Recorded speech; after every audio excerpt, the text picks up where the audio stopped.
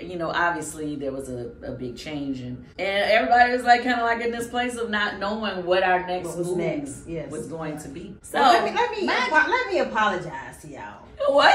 Let me apologize because I was young, I was naive, and it's a lot of stuff I'm still learning right now. You know, a lot of stuff. You know, I'm not trying to get emotional that I'm going through right now.